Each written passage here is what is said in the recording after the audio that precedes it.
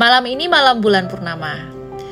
Dipercaya di malam bulan purnama, full moon itu banyak hal-hal spiritual yang terjadi. Dan memang di malam bulan purnama itu energinya sangat-sangat besar. Maka dari itu, jika kamu ingin memanifestasikan sesuatu di bulan purnama, di masa bulan purnama itu sangat bisa saja tercapai. Dan di malam bulan purnama pun nggak boleh nih kita punya pikiran yang negatif. Jadi kalau saat ini kamu lagi punya pikiran yang negatif, buru-buru harus switching.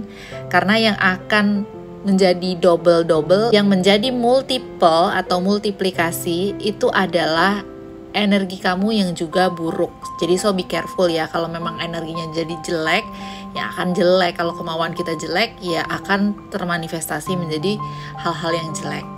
Tetapi di sini selain membicarakan mengenai manifestasi di bulan purnama, aku juga membicarakan mengenai let go, letting go atau membiarkan melepaskan hal-hal yang nggak bisa kita capai. Melepaskan hal-hal yang uh, sudah terjadi atau hal-hal masa lalu yang sepertinya masih membawa luka di hati kamu. Atau keinginan-keinginan yang uh, sebenarnya tidak bisa kita capai dan benar-benar kita tahu bahwa nggak bisa itu terjadi. Misalnya saja kalau kita ingin banget sesuatu barang atau kita ingin banget bekerja di suatu tempat, kita ingin banget memiliki kekasih yang itu, memiliki si A, si B seperti itu dan kalian tahu pada akhirnya tidak akan terjadi.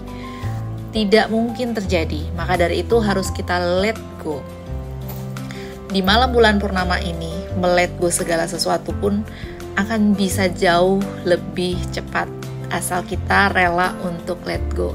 Jadi kalau kamu saat ini memiliki trauma, kalau kamu saat ini memiliki hal-hal yang rasanya nggak bisa akhirnya kita capai, nggak sesuai dengan apa yang kita mau, kita maunya begini dan akhirnya nggak sesuai, kita relakan saja, kita let go. Dan kita manifestasikan di bulan purnama ini, kita bisa lebih ikhlas dalam melepaskannya. Setuju nggak?